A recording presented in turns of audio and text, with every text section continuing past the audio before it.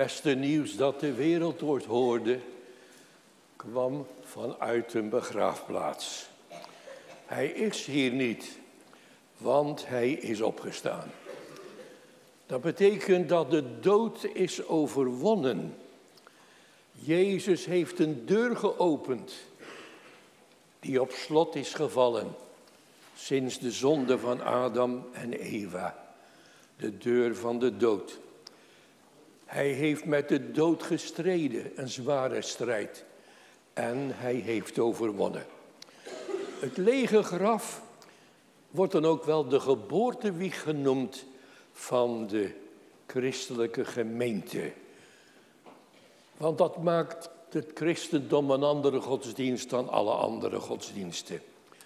Het is een godsdienst van opstanding en van eeuwig leven. Een godsdienst dus van verwachting, van uitzien en van hoop en van toekomst.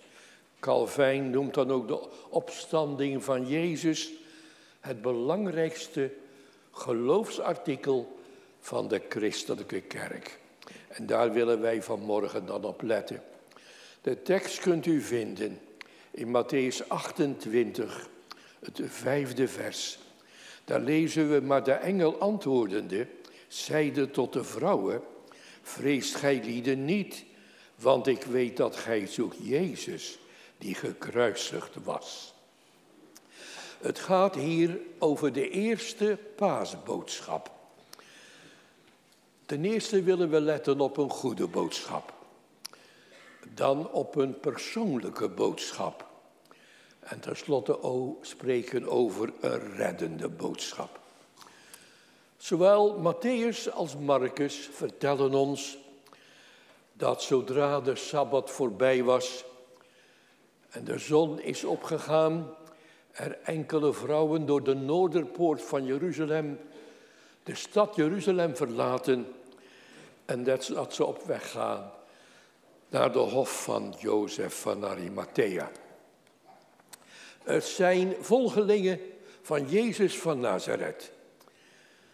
Van de persoon die op Goede Vrijdag is gekruisigd en daarna is begraven en in een graf gelegd, het graf van Jozef van Arimathea. Matthäus noemt maar twee vrouwen. Hij noemt Maria Magdalena en de andere Maria. Dat is een Maria, de moeder van Jacobus en Johannes. Marcus noemt er drie. Hij noemt ook Maria Magdalena en Maria de moeder van Jezus en Salome. En hij zegt erachteraan, en sommigen met hen. We denken dat er een groepje is geweest van ongeveer zes of acht vrouwen. Ze gaan heel vroeg in de morgen naar de hof van Jozef van Arimathea, naar het graf van Jezus. Want zij willen zijn dode lichaam eer bewijzen. Ze willen het balsemen. Dat was vrouwenwerk. En dat hadden ze op de Goede Vrijdag niet kunnen voltooien. En nu willen ze dat afmaken. En daarom dragen ze specerijen met zich en linnen doeken om Jezus te balsemen. Het is troosteloos werk wat die vrouwen willen gaan doen. En daarom lezen ook in de Bijbel en hun harten waren bezwaard. Er lag als het ware een groot gewicht op hun harten. En dat was geen wonder, want Jezus die ze zo lief hadden, waar ze zoveel aan te danken hadden. Denk maar aan Maria Magdalena, die met demonen was bezet en ook de anderen. Waar ze zoveel, zo aan verbonden waren. Jezus was gestorven. Jezus van wie ze geloofden dat hij de Messias was. De verlosser die God beloofd had. En ze hadden dan ook nooit gedacht dat hij aan een kruis zou sterven. En tot het laatste hebben ze gehoopt dat misschien God Elia zou zenden om hem van dat kruis te redden. Maar Jezus was gestorven. En de vijanden hadden het gewonnen.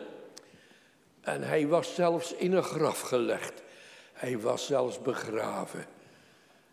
Dood was hij en gestorven. Dan is alles toch voorbij. En zo maakte de dood van Jezus een einde aan hun hoop en aan hun verwachting en aan hun geloof. Ze geloofden dat hij de Messias was en dat hij beloofde godsrijk op aarde kwam brengen.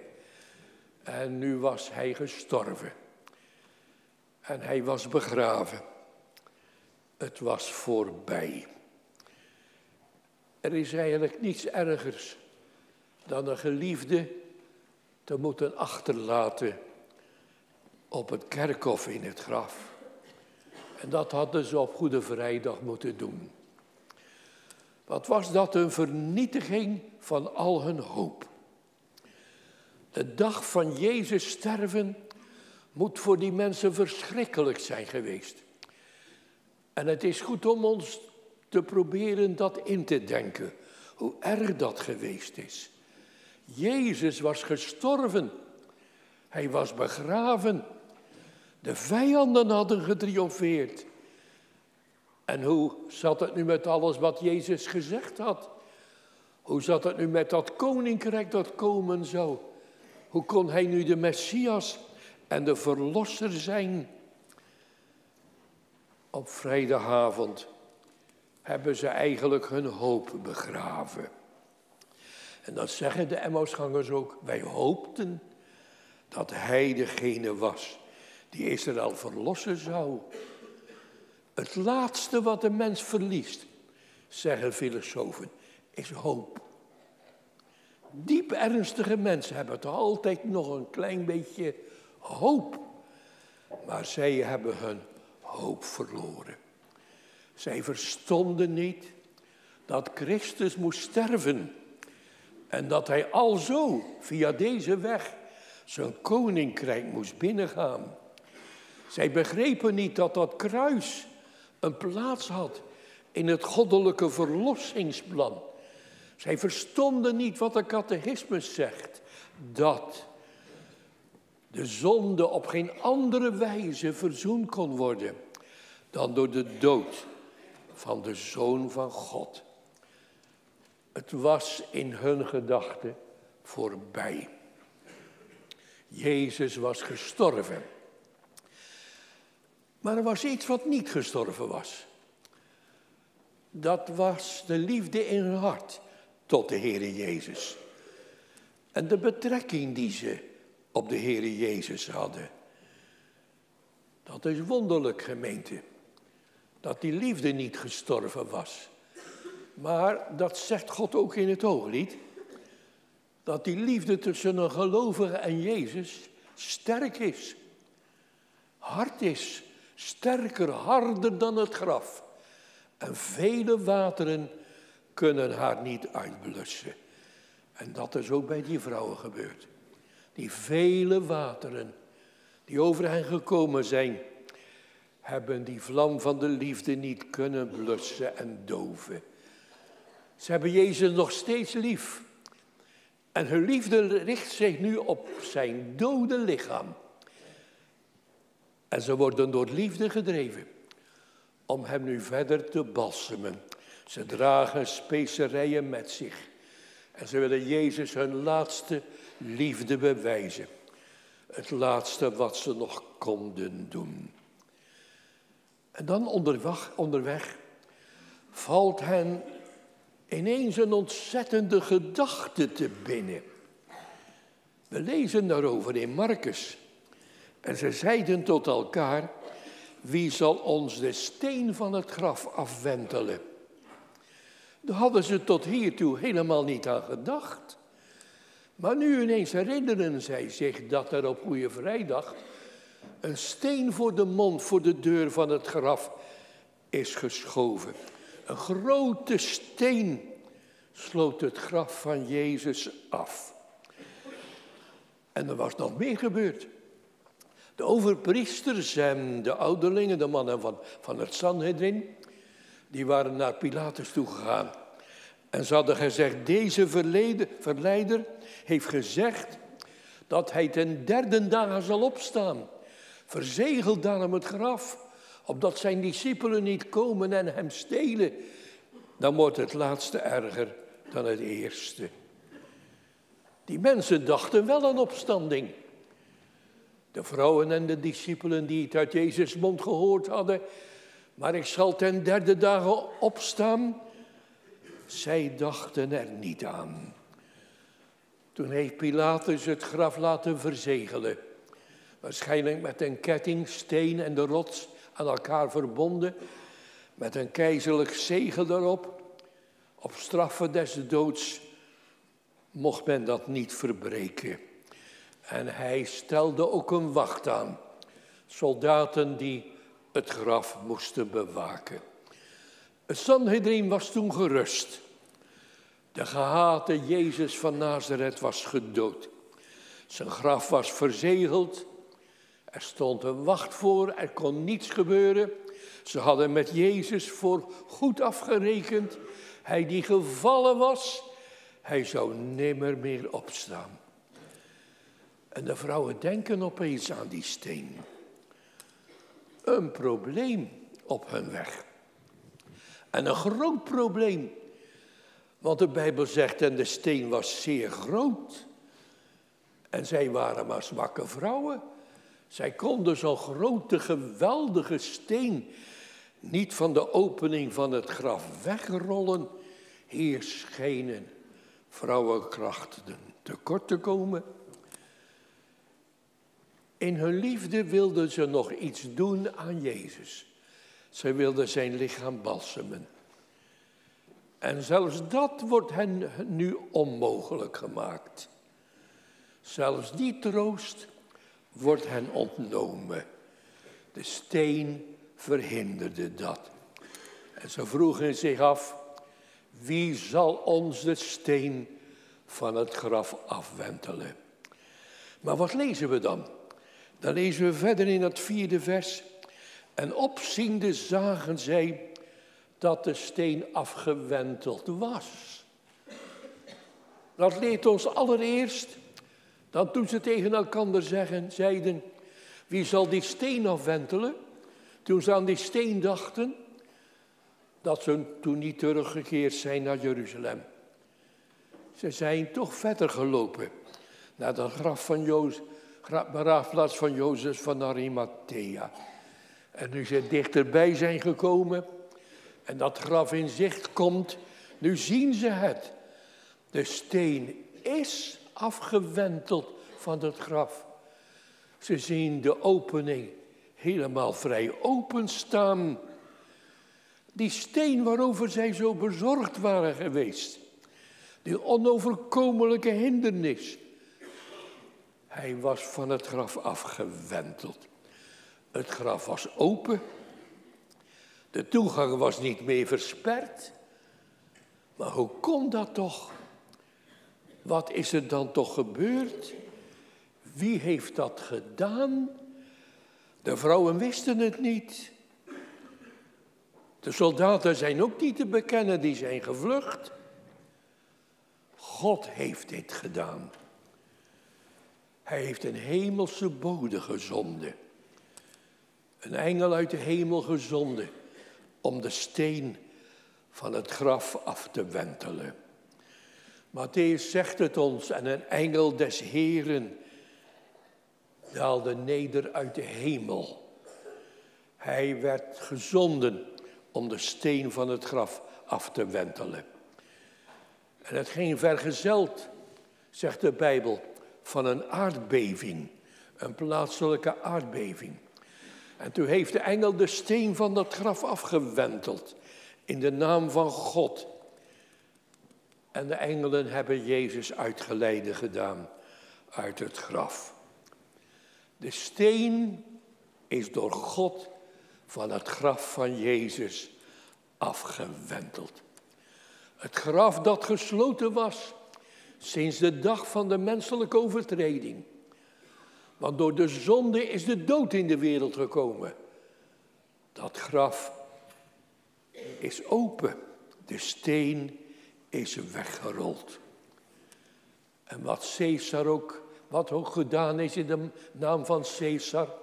het graf verzegelen en afsluiten. Het heeft allemaal niet gebaat. Geen dood hield Davids zoon omkneld, want hij verrees. Die sterke held, het graf is open. God heeft Jezus uit de doden opgewekt. Gemeente, dat is de boodschap van Pasen. De steen op het graf is weg. Die steen die wij niet kunnen afwendelen, waarvoor wij geen kracht bezitten. Die steen die dat graf gesloten houdt, die opstanding onmogelijk maakt. De dood die wij niet kunnen overwinnen. De steen is van het graf afgewendeld. De dood wordt in de Bijbel de vesting van de duivel genoemd. Want een van de namen van de duivel is hij die het geweld des doods had. Dat geweld heeft hij niet eerlijk verkregen. Wij zeggen onrechtmatig verkregen. Door de mens tot zonde te verleiden, heeft hij macht over de mens gekregen. En hij heerst over ons door de dood. Ieder grafzerk is als het ware een overwinningsteken van de duivel. En het verbazende is, de duivel scheen ook Jezus overwonnen te hebben. En hij had ook Jezus in, in zijn vesting opgesloten. Jezus was gestorven en begraven en zijn graf afgesloten. Maar Pasen predikt ons, de steen is weg. De duivel heeft de strijd verloren. Christus heeft gezegevierd. De vesting van de duivel is een open vesting geworden. En een van de oudvaders zegt, de woorden die Jezus zei tot Johannes, ik draag de sleutels van de hel en van de dood, ze leren ons dat de duivel de sleutels van zijn eigen vestingstad niet meer bezit. Christus heeft hem overwonnen. De steen is afgewenteld. De opstanding van Jezus is dan ook een overwinning over de dood en over de duivel. Over al de duistere machten die de mensheid tyranniseren. Christus is opgestaan. De duivel heeft iemand los moeten laten uit zijn macht. Zijn vesting is geopend. Zijn vesting is een open stad geworden. En de opstanding van Jezus zien we als de publieke afkondiging van God. Dat Jezus heeft voldaan. Dat de prijs is betaald. En dat de betaling is aanvaard. Het is het amen op het werk van Jezus. Verricht voornamelijk ook op Goede Vrijdag. Overgeleverd is Hij om onze zonde. Opgewekt is Hij tot onze rechtvaardigmaking. De steen van Gods toorn over de zonde. En hoe verschrikkelijk is die? Hoe verschrikkelijk toornt de heilige God over de zonde. Eer dat hij die ongestraft liet blijven, heeft hij die zelfs aan zijn lieve zoon gestraft. Maar die steen is afgewenteld. En de steen van de vloekende wet. Wat een ontzaglijke vloek is dat. Wat een anathema. Vervloekt is een iegelijk. Die die blijft in al hetgeen geschreven is in het boek der wet om dat te doen. En die stenen zijn afgewenteld. Het leven en de onverderfelijkheid, schrijft de apostel, is aan het licht gebracht, is in het licht gesteld. En dat gebeurt door het evangelie. Wat een goede boodschap brengt Pasen. de zware grafsteen afgewenteld. Jezus leeft. God heeft hem uit de doden opgewekt. En dat werd als troostboodschap de vrouwen gepredikt. En daar letten we op in de tweede gedachte. Een persoonlijke boodschap. Wanneer de vrouwen bij het graf komen, dan zien ze tot hun verbazing, de steen is afgewenteld van het graf. Maar dan lezen we nog iets. We lezen in Marcus 16, vers 5. En in het graf gegaan zijnde. Die vrouwen werden toch wel door iets gedrongen. Ze zijn toen niet teruggegaan. En hebben niet gezegd tot de discipelen, de steen is afgewenteld, de toegang is open. Nee, ze wilden meer weten. Ze werden gedrongen om dat graf binnen te gaan. En als ze dan dat graf ingaan, dan zien ze een jongeling zittende ter rechterzijde. Wij beelden engelen af als baby's en als kleine kinderen. Maar in de Bijbel zijn er toch volwassen persoonlijkheden. Ze zien een jongeling zitten ter rechterzijde. Bekleed met een lang kleed. En ze werden verbaasd. Ze hingen dat graf in. En ze zagen dat het leeg was. En in plaats van een duivel zat er een engel. En toen zeiden ze niet, er is iets, er is hier iets gebeurd. We herinneren ons wat Jezus gezegd heeft. Ik zal ten derde dagen opstaan. Jezus is opgestaan uit de doden. Dat lezen we niet. We lezen dat ze verbaasd waren. Dat is uit hun evenwicht werden gebracht. Ze wisten het eigenlijk niet goed te plaatsen. En je leest in Lucas dat zij zeer bevreesd waren. Ze waren niet zomaar bevreesd, maar ze waren zeer bevreesd. Er was een vrees op hen gevallen. Vanwege de aanwezigheid van die heilige engel. En vanwege wat er gebeurd was en wat ze niet konden plaatsen. Verbaasd zijn ze. Ontzet zijn ze. En bevreesd. Maar ze zeiden niet, Jezus is uit de doden opgestaan. En dat hadden ze toch moeten bedenken. Dat wordt zo ook later verweten door Jezus. Want er waren zoveel bewijzen. De steen was weg en het graf was leeg. En een engel, een dienaar van Jezus, die zat waar Jezus op die rustbank gelegen was. En buiten zat er ook een engel op een steen kunnen we lezen. De hemel was daar aanwezig. En niet de hel. En niet de dood. En niet het verderf. Ze hadden daaraan moeten denken. Hij heeft ons gezegd. En ten derde dagen zal ik weder opstaan. Maar ze waren alleen maar verbaasd. En ze waren bevreesd. En toen sprak de engel tot hen. En zei tot hen, vrees gij lieden niet. Want ik weet dat gij zoekt Jezus die gekruisigd was. Hij is hier niet, want hij is opgestaan, gelijk hij gezegd heeft. Ziet de plaats waar de Heere gelegen heeft. De engel bracht hun de boodschap dat Jezus opgestaan was. En dat alles wat Jezus gezegd had, dat dat vervuld was geworden. Dat dat ware is geweest dat hij werkelijk uit de doden is opgestaan. De boodschap van de engel begint met een geruststelling. Vreest gij lieden niet. Om de boodschap, de verdere boodschap te verstaan, moest er toch kalmte in hun hart komen. En daarom zei die engel, vreest gij lieden niet. Het is heel persoonlijk bedoeld wat hier gezegd wordt.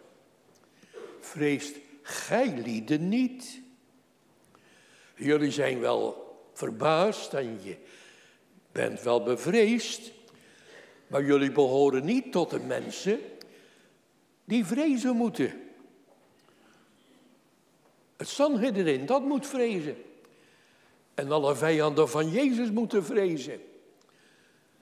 Maar zij behoeven niet te vrezen. Gods kinderen hoeven niet te vrezen. Zeg niet dat ze niet vrezen, maar ze hoeven niet te vrezen. Ze zijn de schapen van Jezus' kudde, waarover Jezus waakt, waarvan hij zei, ik zal er niet één uit hen verliezen. Ze staan bekend bij de engelen. De engelen weten wie ze zijn. De engel zegt, want ik weet dat gij zoekt Jezus, die gekruisigd was. Dat is de naam die hen gegeven wordt op de paasdag.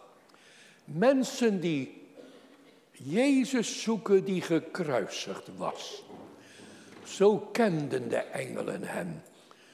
Zo stonden ze bekend in de hemel. Als mensen die zochten naar Jezus die gekruisigd was.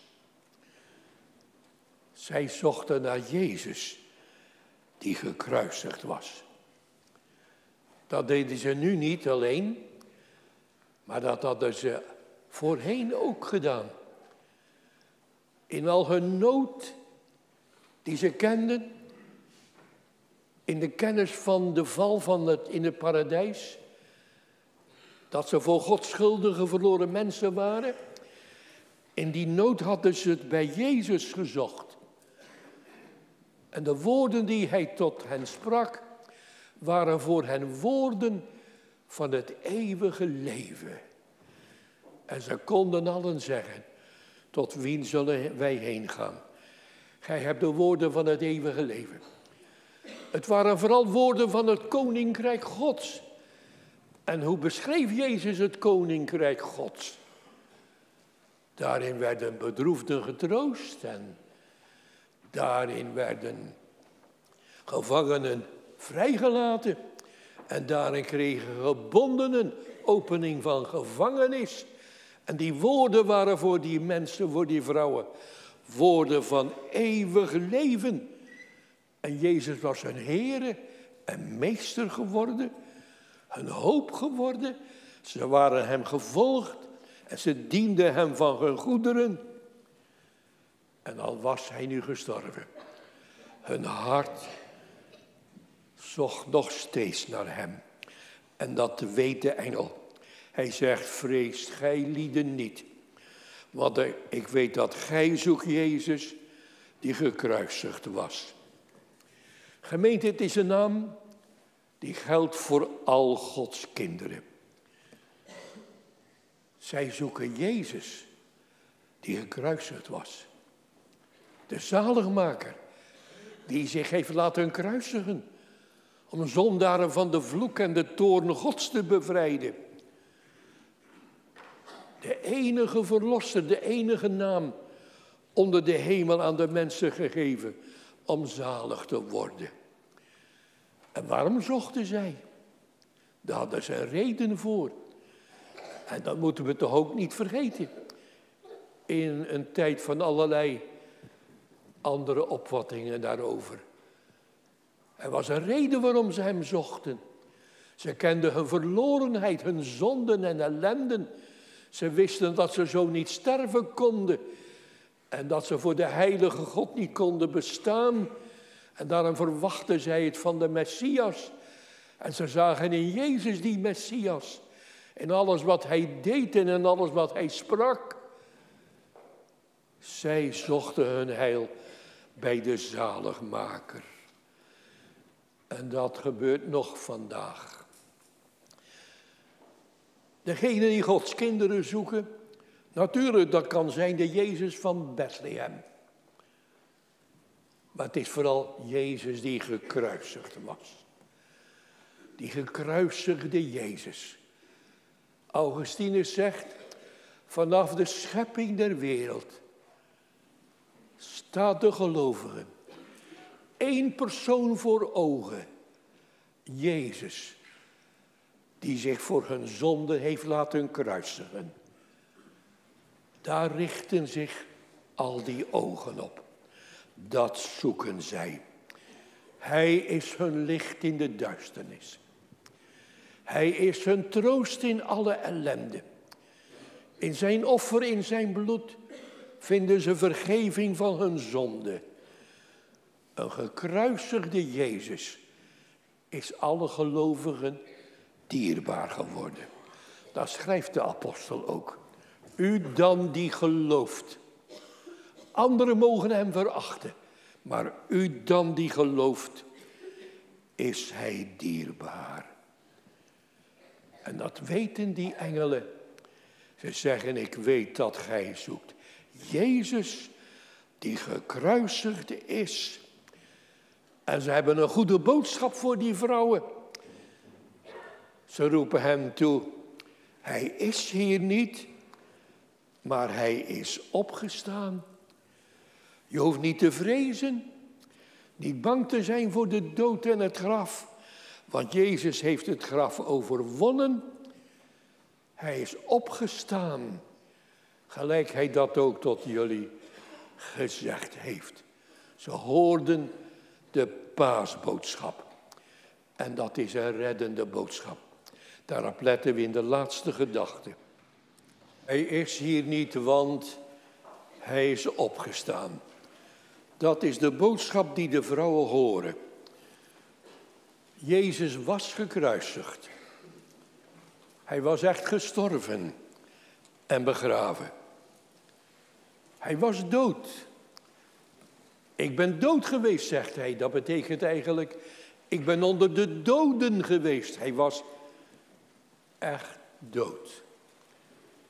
Maar hij is levend geworden. Hij is opgestaan. De dood kon hem niet vasthouden. Petrus zegt het is een preek op de Pinksterdag. Dat het onmogelijk was dat hij van de dood kon gehouden worden. Hij is niet alleen de machtige zoon van God, maar hij had voldaan. Hij had zijn werk volbracht. Hij had vooral de zonde weggenomen. En de zonde is de oorzaak van de dood. Dat moeten we maar nooit vergeten. Door de zonde is de dood in de wereld gekomen. De bekende John Owen heeft een prachtige verhandeling. En daar staat boven, de dood gedood in de dood van Jezus. Toen is de dood gedood. Toen Jezus riep, het is volbracht. De geest gaf en stierf. De dood is gedood. Daarom moest de dood Jezus loslaten. Hij kon van de dood niet gehouden worden. Het graf moest hem laten vertrekken. Hij is opgestaan. Hij is de overwinnaar over dood en over graf. En dan voegt de engel eraan toe, gelijk hij gezegd heeft. Gemeente, de opstanding maakt alles wat Jezus gezegd heeft waar en betrouwbaar. Het is allemaal waar gebleken wat hij heeft gezegd. Dat er vergeving voor van zonden is voor een ieder die in hem gelooft. Dat die hem lief heeft, van de Vader geliefd zal worden. En dan zullen wij komen en dan zullen we woning bij hem maken. En dat de Heilige Geest, de trooster, zal komen tot degenen die in hem geloven. En dat hij hen alles zal leren en alle waarheid zal leiden. Maar vooral heeft hij het dikwijls over zichzelf gehad. Ik ben. Ego eimi. Ik ben. Ik ben de weg en de waarheid en het leven. Niemand komt tot de Vader dan door mij. Ik ben de opstanding en ik ben het leven. Al die woorden zijn waar gebleken. Het zouden dromen, ijdele dromen zijn geweest, indien Jezus niet was opgestaan. En daarom draait ook eigenlijk alles om de waarachtigheid van de opstanding van Jezus Christus uit de doden. Door zijn opstanding wordt alles wat Jezus gezegd heeft bekrachtigd en bevestigd. En vooral bevestigt God dat hij de Messias is. De beloofde aan Adam en Eva. De Messias die Abraham verwachtte en van ver gezien heeft. De zoon van David, waarop David heeft gesproken. De leidende knecht des Heren, waarvan de profetie van Jezaja gewaagd. Alles wat van hem gezegd is in het Oude Testament. En alles wat door hem zelf gezegd is, het wordt bekrachtigd door de opstanding van Jezus Christus uit de doden. Daarom begint ook de Romeinenbrief met die geweldige woorden. Ik ben een apostel van Jezus Christus, zegt Paulus. Ik die u nu ga schrijven. En dan ineens zegt hij, die krachtelijk bewezen is de zoon van God te zijn uit de opstanding der doden, namelijk Jezus Christus, onze Heer. Zonder opstanding van Jezus geen christendom. Het is de hoeksteen waar alles op rust. Wanneer je de opstanding wegneemt, hou je geen christendom meer over. Dan valt het onderscheid weg met al die andere religies. Want die proberen ook een antwoord te geven op vragen van mensenharten. Die proberen ook wat licht te verspreiden als u moet sterven en de eeuwigheid binnentreden. Maar Christus is opgestaan. De kerkvaders wijzen er nogal dikwijls op dat de grondleggers van andere godsdiensten, dat die allemaal gestorven en begraven zijn. En dat je gegraven kunt vinden. Die kun je vinden. Daar, wordt hij, daar worden ze aanbeden. In Mekka, daar gaan de moslims naartoe. En Kusinara, daar is Boeddha begraven, daar gaan de boeddhisten naartoe en zo kun je dan wel verder gaan. Maar Jezus' graf is niet meer op aarde. Het graf van Jezus bestaat niet meer, want hij is opgestaan. Vreest gij lieden niet. Want ik weet dat gij zoekt Jezus die gekruisigd is. Ja, ben je daar nu ook een zoeker van? Van Jezus die gekruisigde is. Meisjes en jongens, zoek je naar de Heer Jezus. Ja, het is natuurlijk goed om te bidden om een nieuw hart. Maar vooral moet je naar een zaligmaker zoeken. Naar iemand zoeken die je redden kan. Die je verlossen kan en met God kan verzoenen. En jonge mensen, ja, wat is er nu buiten Jezus nog te vinden? Ik ben al lang uitgekeken in de wereld. En vooral sinds ik Jezus heb gezien, dan is al het andere toch zo leeg en zo voorbijgaand. Wat baat het nu de mens? Al won hij de gehele wereld en hij leed schade aan zijn ziel. Toch zijn we er allemaal door geïnfecteerd. Door dat virus van die rijke dwaas. Mijn schuren moeten nog groter worden. En mijn vakanties moeten nog verder worden. En ik moet nog meer bezitten, nog meer pracht en praal verwerven. Dat is het bedrog van de duivel. Paulus schrijft het. Dat Satan de ogen van de mensen verblind heeft. Opdat hij niet bestralen. De echte heerlijkheid van God. Die schijnt in Jezus Christus. Als je iets van God wil zien, van zijn heerlijkheid, dan moet je naar Bethlehem kijken. En dan moet je naar de hof van Gethsemane kijken. En naar het kruis kijken. En naar het lege graf kijken. En wat zijn mensen daar blind voor? Heb je reeds ontdekt wat die vrouwen ontdekt hadden? Dat zij verloren mensen waren. Dat zij de macht van zonde en Satan waren. Dat ze God moesten ontmoeten, hun schepper.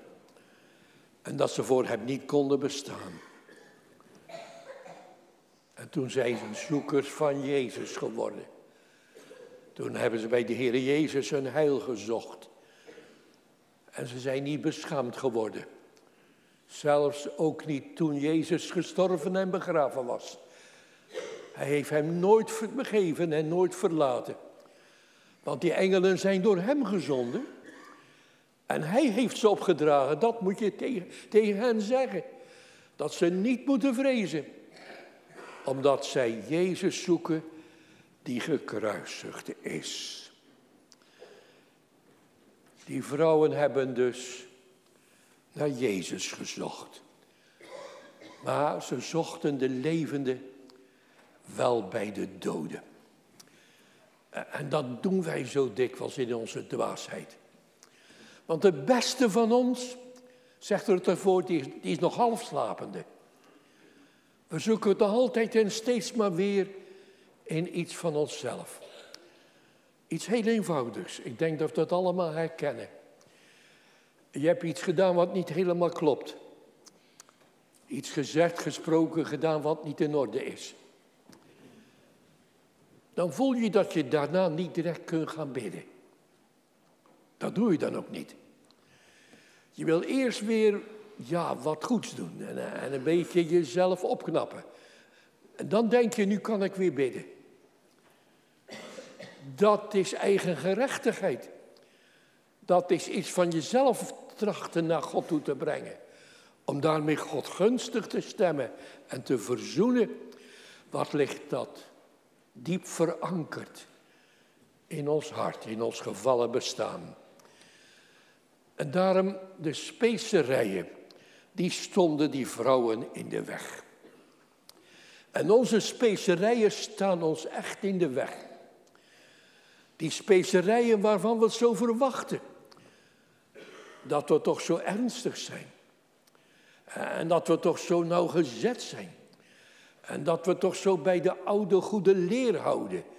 En dat we toch zoveel bidden. En dat we ook wel eens een traan schreien. En dat we wel eens een moeilijke nacht hebben gehad. Dat we helemaal niet oppervlakkig zijn, maar juist diep ernstig zijn. Dat staat ons allemaal in de weg. Top Lady, het gedicht is vertaald, zegt eenzaam kom ik, arm en naakt, tot de God die zalig maakt. En wat nu, wat nu die grote steen betreft, die de vrouwen zoveel zorgen baarde, wat die grote steen betreft in uw leven, die steen die zo zwaar op uw hart drukt, misschien zijn er zonden in uw leven geweest, die nog steeds je drukken, die je nog steeds bezwaren, die hindernis zijn om, om God te zoeken je hoort de duivel zeggen, voor zo iemand is het niet. Zo iemand als jij bent. Kennen wij die zorg over een steen? Dat hoort ook bij het christendom. Die zorg over die steen, die zware steen op ons hart, die steen op ons bestaan. Hoor dan de boodschap van Pasen. De steen is afgewenteld van het graf. God heeft met het grootste probleem afgerekend. Hij heeft met de zonde afgerekend. Hij die geen zonde gekend heeft, heeft hij zonde voor ons gemaakt, opdat wij zouden worden. Rechtvaardigheid Gods in hem. Er is op Golgotha voldaan. Er is op Golgotha betaald. Mensen zeggen, waar was God in Auschwitz? God is daar de grote afwezige. Die Duitsers, die nazi's mogen zomaar hun, hun gang gaan. En we zouden ook kunnen zeggen, waar was God op Golgotha? Waar was God? God schijnt de grote afwezige. Maar wat schrijft de apostel in 2 Korinthe 5? God was in Christus. De wereld met zichzelf verzoenende. Hun zonden hun niet toerekenende. Daar was God mee bezig op Golgotha. Omdat u, uw gevallen mens, schuldig zondaar, behouden zou kunnen worden. Opdat God zou kunnen zeggen wat Job zegt. Verlos hem. Ik wil niet dat hij in het verderf dalen, want ik heb verzoening gevonden. God heeft verzoening gevonden. Bij het altaar, daar zocht de schuldverslagen Israëliet zijn redding. Wij weten dat hij zoekt Jezus die gekruisigd was. Bij de gekruisigde moet je het zoeken. Daar vind je vergeving van zonde. En op de paasdag mag je het eeuwige leven vinden. Opstanding bewijst. Bewijst vooral dat Jezus de Zoon van God is. Krachtig bewezen de Zoon van God te zijn door de opstanding uit de doden. En dat hij de beloofde Messias is. Al de woorden der profeten zijn in Jezus vervuld. Het is waar. De boodschap is waar. Waarmee de apostelen de wereld ingingen. Die geloofd zal hebben en gedoopt zal zijn, zal zalig worden. Eeuwig zalig worden. Maar het is ook waar, gemeente, wat er verder volgt. Maar die niet geloofd zal hebben, die zal verdoemd worden. Wij dan, wetende de schrik des Heren, bewegen de mensen tot het geloof en bidden u van Christus wegen. Laat u met God verzoenen. Amen.